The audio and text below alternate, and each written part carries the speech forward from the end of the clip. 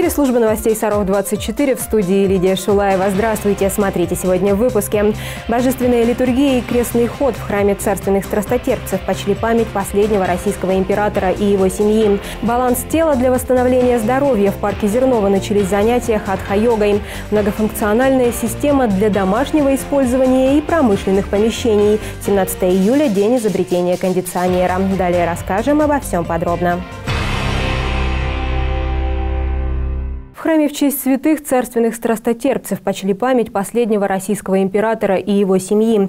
Николая II, его жену и детей расстреляли в ночь 16 на 17 июля 1918 года в Екатеринбурге. В Сарове храм в честь царской семьи открыли ровно год назад. Сегодня ранним утром в храме состоялся водосвятный молебен, затем божественная литургия, после которой прихожане прошли крестным ходом вокруг храма. Десятки верующих собрались на престольный праздник. Совместной молитвой саровчане вспоминали события трагической ночи. 17 июля 1918 года государь Николай II вместе с супругой и детьми по решению Уральского облсполкома был расстрелян в подвале дома Ипатьева в Екатеринбурге. Святая Церковь признала этот, эту смерть мученической кончиной.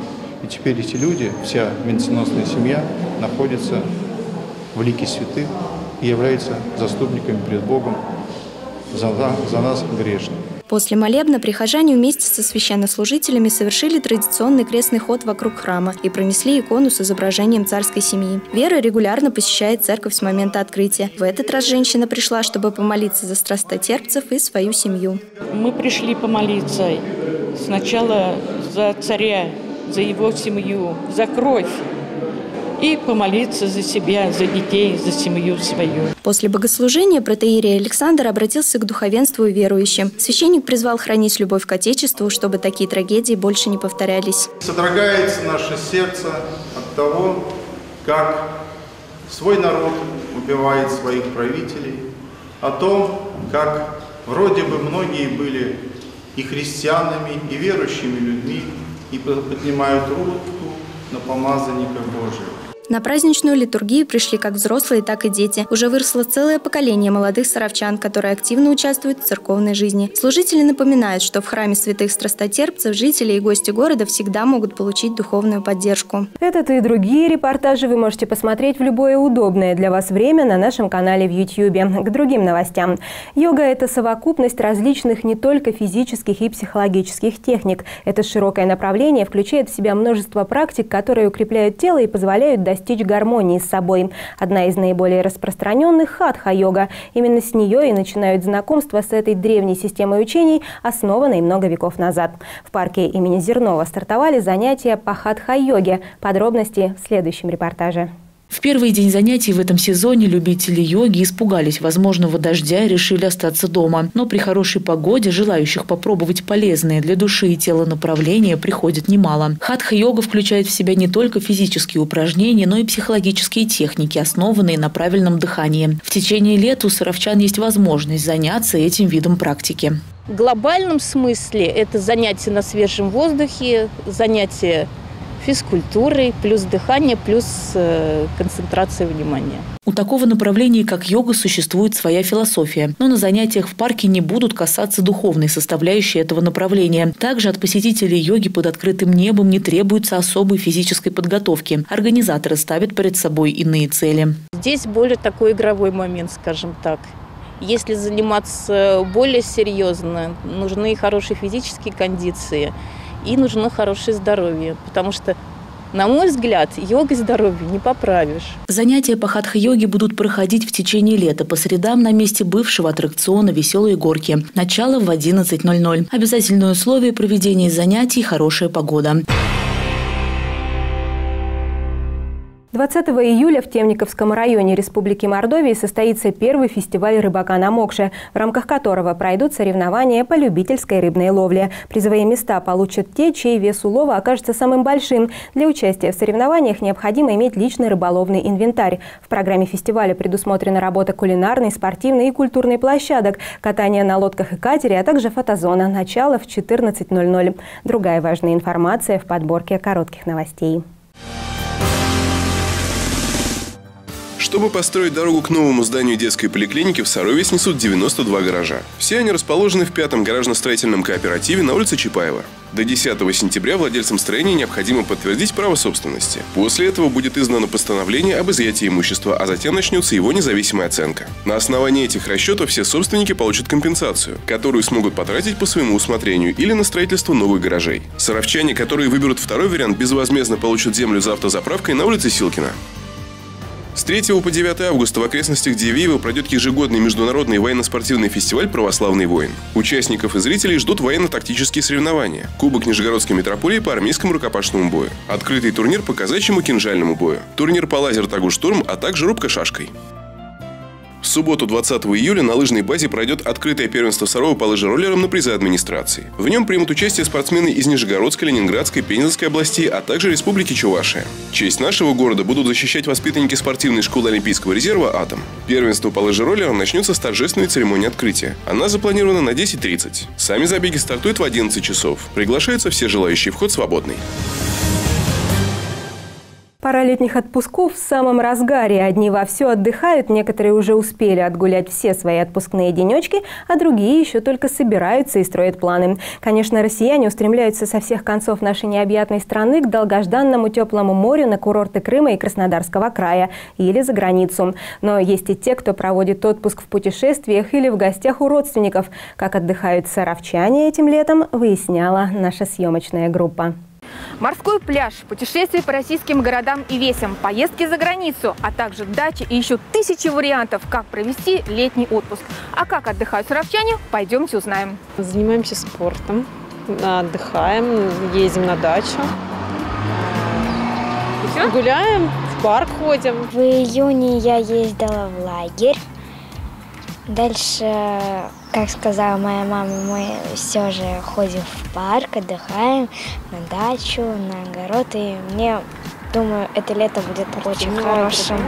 Я на практику хожу. Ну что, прям полтора месяца, что ли? Ну, уже месяц почти. А, так, что дальше? Дальше планирую отдыхать. Как? Активно, надеюсь. Я хочу в лес ходить с грибами, там, не знаю, купаться на озере. У меня дом свой, природа, река рядом. Зачем куда-то ехать, когда у меня все рядом? У меня вообще красота. Да вам жутко повезло. Это точно. За грибами на рыбалку, как его еще проводить-то? Родителям помогаю на огороде там что. Ну не скучно все это, нет, нормально? Они дают это скучать. Работаем. Отпуск-то будет? Нет, без отпуска. Да не может быть. Ну как-то, все. Все лето в работе? Да. А вечерами что делаете? Вечерами работаю, подрабатываю, зарплата маленькая. Отпуск был, нет? Нет еще. А будет? Будет. Когда? В августе. Ну здорово, что планируете в августе? Пока не знаем. Вот я сейчас пенсионерка, поэтому у меня либо все время отпуск.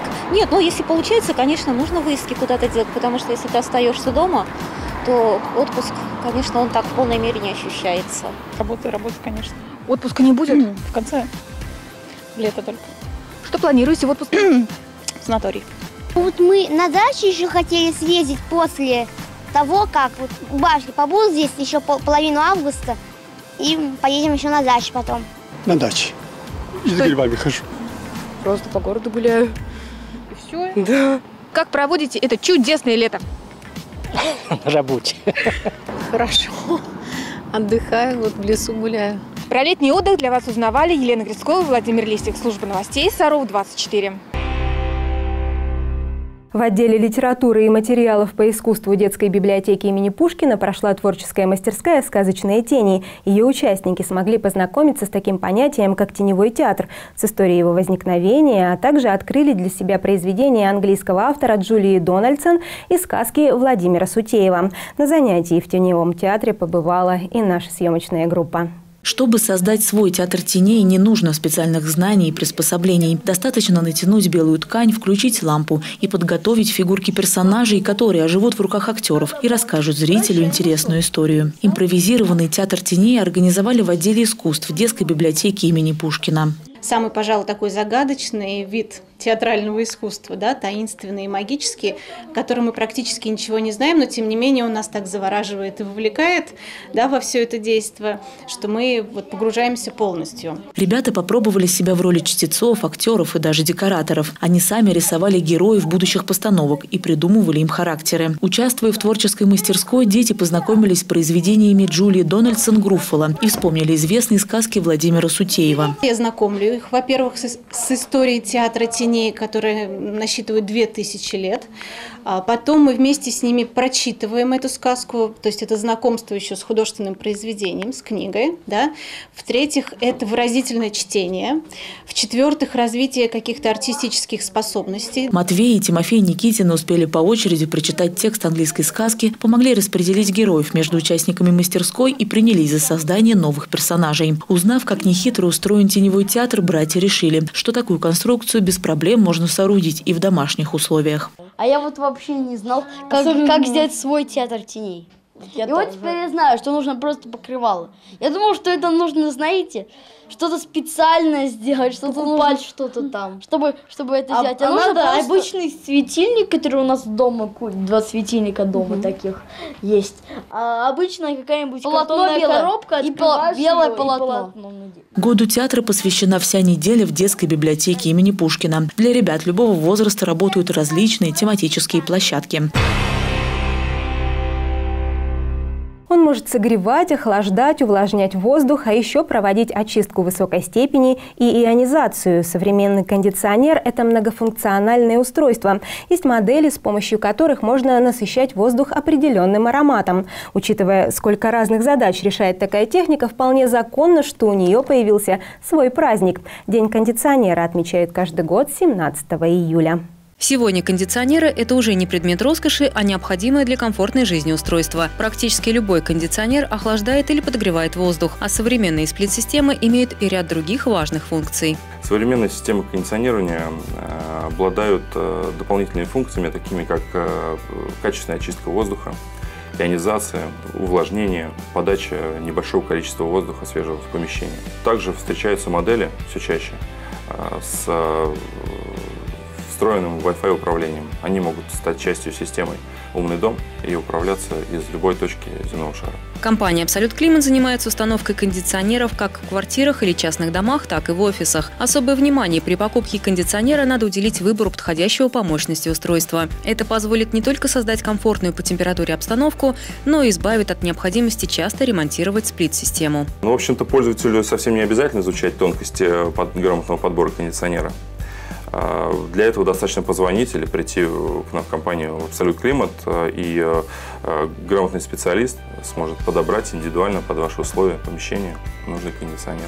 Важно помнить, что кондиционер, как и любая техника, требует ухода. Это современная замена фильтров и чистка устройства специалистами. Также для создания комфортной обстановки стоит периодически проветривать помещение. Кондиционер не сделает за вас эту работу. Э, кондиционер гоняет воздух э, внутри помещения. Это один и тот же воздух, просто он постепенно э, охлаждается. Обязательно раз, допустим, в час нужно открывать и проветривать помещение. Можно создать небольшой сквозняк, открыв окно.